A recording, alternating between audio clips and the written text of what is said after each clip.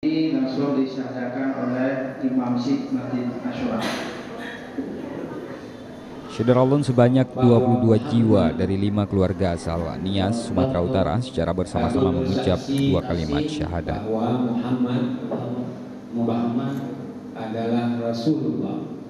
Mereka menyatakan diri masuk Islam sementara prosesi persyahadatan dilangsungkan di Masjid Asyura Senebo, Melabuh, Aceh Barat. Satu lainnya Syederalun diketahui masih menunda keputusannya untuk menjadi mualaf.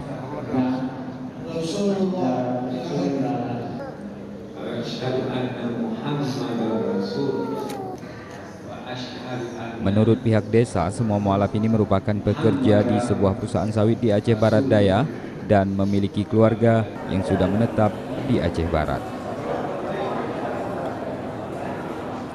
Dari Melabuh, Rizwan, Serambion TV.